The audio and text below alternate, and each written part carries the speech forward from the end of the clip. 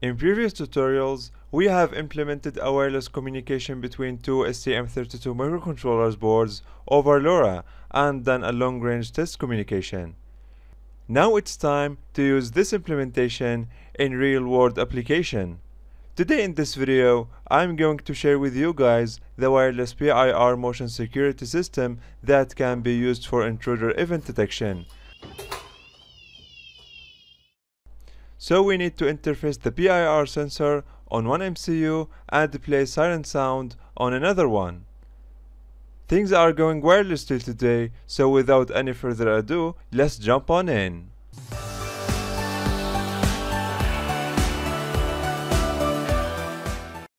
This video is sponsored by PCBWay. PCBWay is a professional PCB manufacturer where you can turn your dream project into an actual one with the help of their one-stop solution service that includes CNC machining, 3D printing, metal sheet fabrication, and injection molding. They are also celebrating their 8th anniversary with big discounts and free coupons. Their website link is in the video description below, so don't miss the chance. Alright, so here's the setup I'm going to use uh, through this uh, tutorial. You can see here the PIR sensor I'm using with the 3D printed housing uh, I used. So you can see here the PIR sensor board inside and this part actually keeps it pushed inside. Uh, I will be sharing the STL files uh, in the description of this tutorial so you can guys uh, try it out.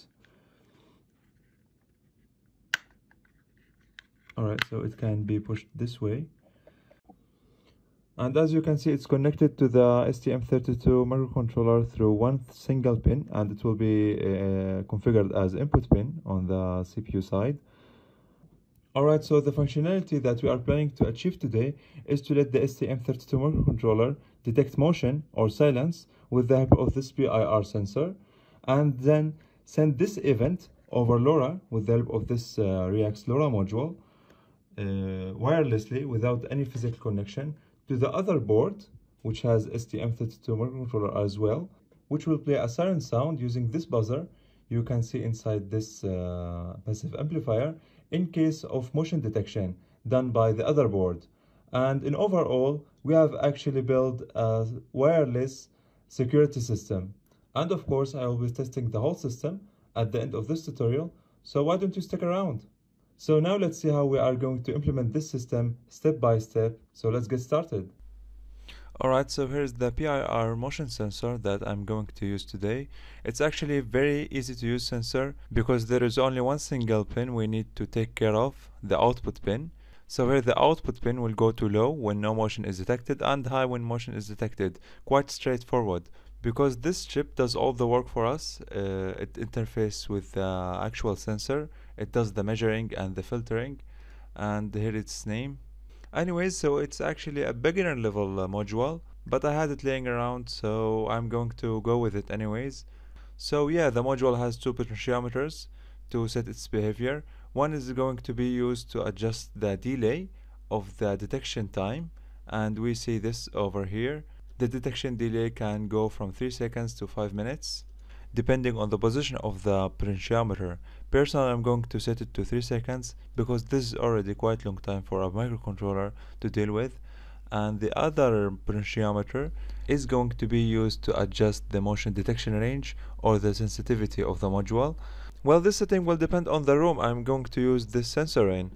Uh, it doesn't matter for me actually so without any further ado, let's jump into our code and see how we are going to interface this uh, motion sensor. So here I've written a simple library in order to interface the motion sensor that I'm going to use, HCSR501. We can see first of all the initialization function, uh, status read, update status, and of course timer handling functions. Timing is a very important parameter that we need to deal with. So let me show you that with an example uh, I'm going to connect my logic analyzer to the output pin of the PIR sensor and read its voltage level when it detects motion and no motion event. Alright, so here's the logic analyzer I'm going to connect to the output pin of the PIR sensor in order to analyze the signal it generates on the output pin. Uh, we can actually even uh, connect an LED to the output pin of the PIR sensor and see how it would work when it detects motion actually. Yes. Uh, so a delay is actually generated uh, for around six or seven seconds uh, right after detection. Alright, so right now, as you can see, I'm running the logical analyzer interface and the sampling is going on. Uh, the PIR sensor output pin is connected to channel 0 of the logic analyzer and now I'm going to pu put my hand in front of the sensor and according to the readings that we are going to obtain we are going to build the algorithm that we are going to use to interface the PIR sensor properly in order to see how the PIR sensor will behave once it detects motion. So here as you can see the detection has started and now currently I'm keeping my hand moving in front of the sensor. So it's currently detecting continuous motion. So we can take that event as a reference for us and according to that we can build our algorithm on the code. So here I took several samples to see the behavior of continuous motion and then when there is no motion you will notice that the output pin will stay at zero level. So now if we have a look at the timing of these uh, pulses we will notice that the on time segments and the off time segments are equal. So in overall we have some sort of a signal to deal with. So when designing the algorithm in our code to deal with this pattern we can wait for nine and a half seconds before deciding that the motion is ongoing or it stopped. Alright so now let's get back to our code and carry on with it Alright, so let's start with the PIR sensor handling function where the all magic happens. So first of all, we check if the sensor is activated or not, and then we check if the time has come in order to take a sample of the output pin of the PIR sensor. We check this uh, right over here, quite simple function.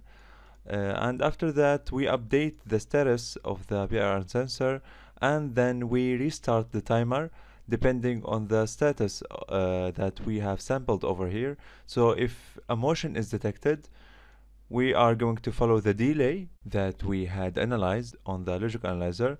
Otherwise, we will continue taking one sample every 500 milliseconds. And at the end of the execution of this function, we see that the last sampled detection event status is returned back to the main function where it's going to be used to be sent later on over LoRa to the other board which has the siren on it to inform it about the motion detection event.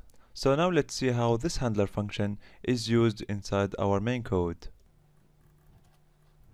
So yes, here we are. Uh, as you may have remembered, I'm still using the same code that I've used in the LoRa transceiver uh, project. So if you are interested to learn more about uh, the LoRa module that I'm using, Uh, you can visit this link that will be showing over here. Alright so let's carry on with the current implementation. So as you can see the handler will be called inside the while loop and the detected event no matter what it is it will be sent to over LoRa to the other module every 500 milliseconds. And the sent packet here will be like this the ULoRa protocol that we had designed before. So this is the packet that we are sending. The packet will be having the ID and the detection status which is 0 or 1 1 for motion detection and 0 for no motion detection and of course the checksum to check if the received packet is not corrupted. Alright, so let's get back and have a look at the code running on the siren board uh, and we, have it over here. I've actually written a simple sketch to interface the buzzer in order to output a siren sound. Uh, the sketch is over here. It's quite simple. Uh, you can have a look at it, use it in your project for your application and maybe develop it and merge it back to the main uh, repository. So let's get back to the main. Uh, so as you can see here a flag will be detected once ULoRa PIR sensor detection packet is received to this board and then send back an acknowledgement packet to the main board update the timer and turn on the LED to indicate that the communication is ongoing. And if the received PIR detection event status is 1 the siren sound will be started to indicate for alarm uh, situation to inform us that there is movement on the PIR sensor board. And once no motion is detected on the PIR sensor board the siren sound will be stopped and the whole system will be waiting for the next detection event to be received so by adding this simple sketch, we have actually implemented a simple security system actually. And yeah, so now let's put everything on action and see how the whole system works. Alright, so now the whole system is powered up. Uh, and as you can see, the blue LED is being toggled uh, indicating that the LoRa communication is ongoing. Currently, no motion event is being sent to this board uh, from the PIR sensor board, we, as we can see here. Uh, so now if we do a motion on front of the PIR sensor,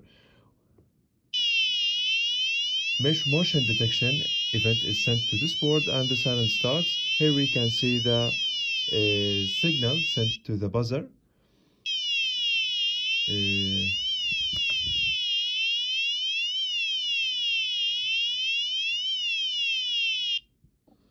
Uh, so now I'm going to put these two boards apart uh, and see how the whole system will work on action uh, in a real world situation. So yeah, let me show you. Okay, so now I put the PIR sensor board on a dining table uh, and the whole system is powered by this power bank. Uh, the PIR sensor is now directed to my home door. So once this door is opened, the siren on the other board uh, will be turned on informing me that there's an intruder and the siren board will be placed in another room uh, close to me so I can hear it. Uh, we can do actually a test right now. So I'm moving my, yes, you can hear the sound from here. So now we know that the system is working. So now let's see how it will work in action.